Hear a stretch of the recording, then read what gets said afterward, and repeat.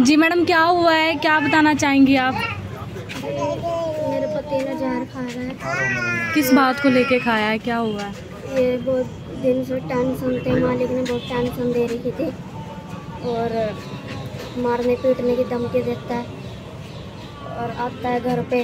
मेरे साथ भी छेड़खानी करता है गंदे गंदे कौन सा मालिक है ये? क्या ये काम है दीपक काम करते थे? ये जूते की फैक्ट्री में। कहाँ पे फैक्ट्री आप लोग वहीं पे रहते थे क्या? हाँ वही कमरा ले रखा था हमने किराए पे। फैक्ट्री में कैसे छेड़छाड़ हुई है? क्या क्या ये किया उन्होंने? फैक्ट्री में मेरे- ये इसके ये तो गए पड़े थे कहीं कोई काम से। तो मेरे को ले गया था डर से। ऊपर फैक्ट्री में छेड़खानी से कर रहा था वहाँ पे। अच्छा। हाँ। अच्छा मालिक आपको ले गया था? हाँ। तो उसके बाद फिर जब आपके पति को लगा पता लगा तो क्या हुआ उसके बाद? उनको हाँ। उनको तो कल उन्होंने जा- इन्होंने तो आज जहर खा लिया था सुबह। सुबह खाया जाए हाँ। इसी च- इसी बात पे कहा है या कोई पैसे का लेन देन था? जी पैसे तो मार काम करते थे वहाँ पे दो तीन साल से। हम्म, तो इन्हें कहते थे भाई काम पे चल काम पे चल। हम्म, तो इन ये वहाँ काम नहीं करना चाहते थे। कहते भाई मैं और कहीं काम करूँगा। हम्म। काम भी नहीं छोड़ने दिया गया था। और पैसों का क्या मैटर है? ये पैसों का क्या इल्ज़ाम लगाया हुआ है? पैसों का इंजाम लगा रखा हमारे ऊपर। लिए थे आपने उधारे पैसे? क्या नहीं, थे? हमने ले रहे के उल्टा मार के लगा रखा काम कहाँ करते थे? कहाँ करते थे काम? ये जूते की फैक्ट्री में जूते की फैक्ट्री है कहाँ पे? ये शिव कॉलोनी। शिव कॉलोनी में? कितने पैसे का लेन देन था? तो पता नहीं मालिक कौन है उसका कितने पैसों का इल्ज़ाम लगाया था आपके पति पे? ये तीस चालीस का लगा रखा इंजाम तीस चालीस कब खाया जहर? जहर सुबह खाया आज। अब हालत कैसी है? हालत गंभीर है। साथ हुई? है। आपके साथ छेड़खानी हुई है? हाँ मेरे साथ ऊपर छेड़खानी से कर रहा था। आप वहीं रहते हो? हाँ वहीं रहते हैं। क्या नाम है मालिक का? मालिक का दीपक। आपके पति का? उनके मोल्टी है। पहले कुछ बात हुई आपकी कि कुछ बोला हो आपको उन्होंने? कभी आपसे कोई बात कुछ की बात की? आपके पति ने आपको कुछ बोला हो कि मैं पैसे तक कुछ भी बात हुई हो? हाँ? उन्होंने ये तो बताया नहीं बस सुबह जहर से खा लिया था उनकी टंगे करता था रात को भी आया था वो दरवाजों में लगते लिखते मार रहा था।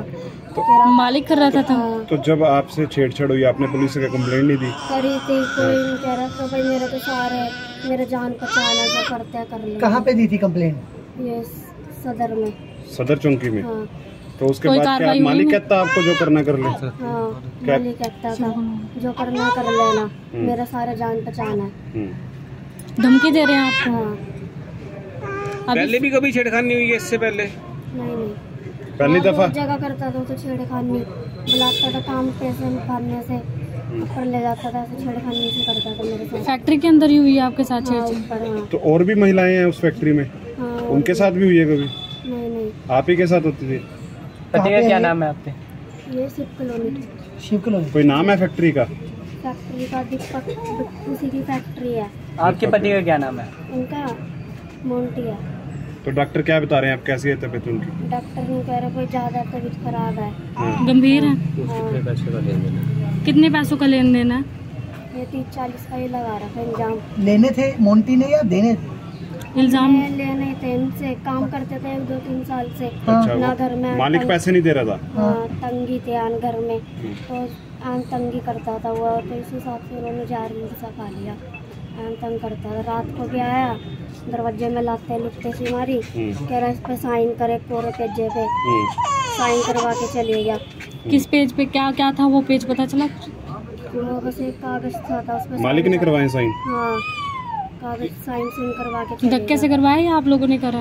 वो कह रहा साइन कर इस साइन कर। आपसे करवाए थे आपके घर वाले धक्के से करवाए हैं? हाँ। क्या अपील करना चाहेंगे प्रशासन से? क्या चाहती हैं बात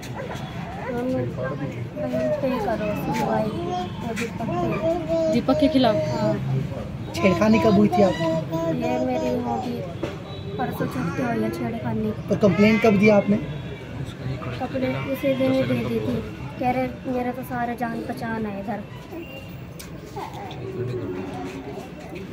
तो देख सकते हैं आप ये महिला काफ़ी ज़्यादा परेशान है क्योंकि इनके पति ने जो है आज जहर खा लिया है क्योंकि इस महिला के साथ जो है छेड़छाड़ हुई है इस महिला के साथ और ट्रामा सेंटर से इस वक्त आपको तस्वीरें दिखा रहे हैं जहाँ पर आप लोग देख पा रहे हैं कि जिस तरीके से यहाँ पर ये महिला परेशान अवस्था में पहुँची है। तीस चालीस हज़ार रुपए की लेन देन के ऊपर जो है मानसिक दबाव बनाया गया और उसी के चलते आज इनके पति ने जहर खा लिया है। अपील ज़रूर ये प्रशासन से करती हुई नज़र आ रही है क्योंकि एप्लीकेशन भी दे चुकी है। अभी तक कोई कार्रवाई नहीं हुई है फ़िलहाल आप तो देख सकते हैं आप लाइव तस्वीरों के माध्यम से इस महिला का एक बड़ा बयान यहाँ पर सामने आया है। जिस तरीके से इनके पति की हालत काफ़ी ज़्यादा गंभीर है। आज सुबह ही उनके द्वारा जहर खाया जाता है। फ़िलहाल ट्रामा सेंटर से ये लाइव तस्वीरें आपको दिखाई जा, जा रही है। हरियाणा के करनाल के ट्रामा सेंटर से जहाँ पर इनके पति को जो है एडमिट किया गया है और काफ़ी ज़्यादा गंभीर हालत बताई जा रही है डॉक्टर्स के द्वारा की हुई है इन लोगों को इंसान मिल सके इसलिए इस वीडियो को अपना सहयोग ज़रूर दीजिएगा। इस वीडियो को ज़्यादा से ज़्यादा शेयर ज़रूर कीजिएगा और तमाम लेटेस्ट अपडेट के लिए बने रहिएगा आपके अपने चैनल